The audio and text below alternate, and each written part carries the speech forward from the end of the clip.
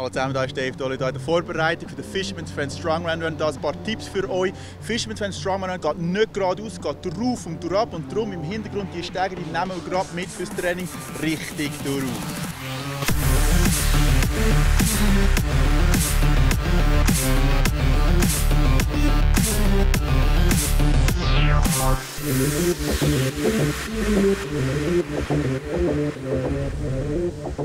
Thank you.